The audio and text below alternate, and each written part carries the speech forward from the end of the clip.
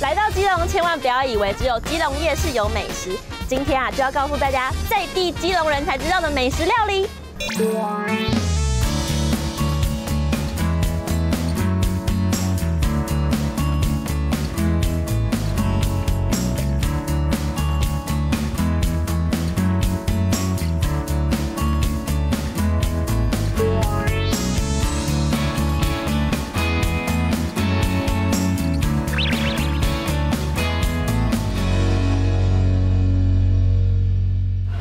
到基隆，千万不能错过市场里的传统美食。这间咸汤圆呢是基隆在地鸡推的咸汤圆，而且听说这个咸汤圆的口味啊是基隆特定的口味哦。那我现在就先来吃吃看这个咸汤圆的味道。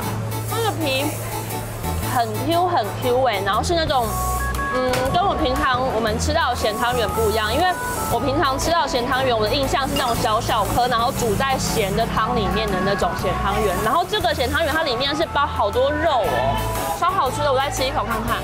它的肉好鲜美哦，然后配合那个皮一起咬，因为我刚刚第一口只有咬到皮，第二口连着肉吃，好好吃哦。而且这间呢、这间咸汤圆除了咸汤圆厉害之外，还有一个是只有这边吃得到的美食，就是猪肝肠。它很脆，然后你可以吃得到那个肉的感觉，然后里面还会你嚼到后面就会有那个猪肝的香味飘出来，真的好好吃哦！我真的在外面没有吃过哎。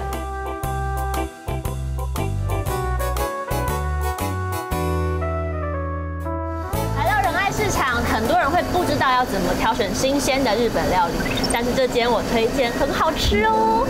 那我现在就先来试试它的握寿司，它真的非常的新鲜，而且它跟那个醋饭的比例刚刚好。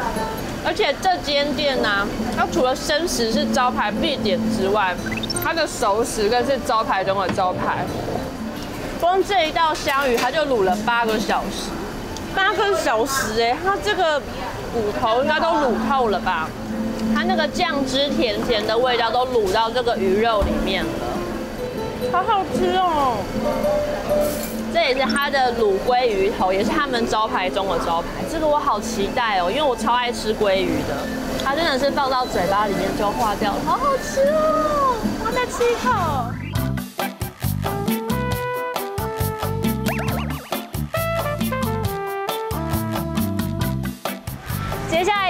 来这一间呢是基隆非常有名、传说中的幽灵餐车。这间豆花只卖两个小时哦，它的时间是十二点到两点，想吃的话不要错过哦。那我现在赶快点一碗试试看。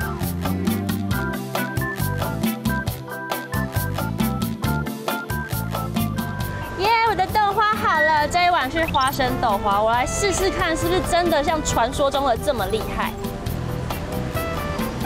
它的花生真的好香，而且豆花好滑顺哦。这个豆花其实你吃得出来，它那个口感跟一般那个外面做的很不一样，它特别的绵密，然后你可以就是用舌头上一抿它就化开，这一定是手工做，一吃就知道。难怪它只卖两个小时，好好吃哦！而且它这个花生会超香的。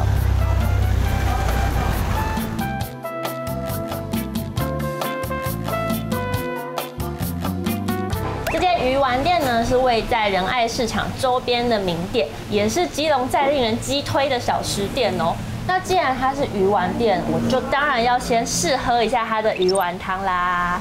哇，这看起来超级好喝的耶！它这个鱼丸很酷，它是用鲨鱼肉做的，因为基隆这边其实非常有名的就是鲨鱼店，它非常的弹呢，而且你再咬一咬，你就会吃到那个鲨鱼肉的那个鱼浆的甜味，好好吃哦，这个。这间店呢，除了鱼丸有名之外，它还有非常有名的东西，就是干冬粉。因为我本身是冬粉控，而且你想要知道这间店这些小吃店好不好吃，其实干面啊、干冬粉都是个非常指标性的一个食物。刚刚有看到画面，就是冬粉很弹呢，它就这样弹弹到我的牙齿上，它好好吃哦，而且它的它的那个酱料啊，也是属于比较有带一点甜味跟一点微微的辣味的。它的辣椒很香哎，而这边其实我觉得非常有特色的一个食物就是豆干包，因为其实我没有在外面没有看过这个豆干包哎，我不知道它里面原来是有包肉的耶。你咬下去第一口会先是那个豆干包本身的味道，然后再继续咬下去，它那个肉炒出来的香味，还有那个辣椒甜甜辣辣的味道，好好吃哦，这个好搭哦。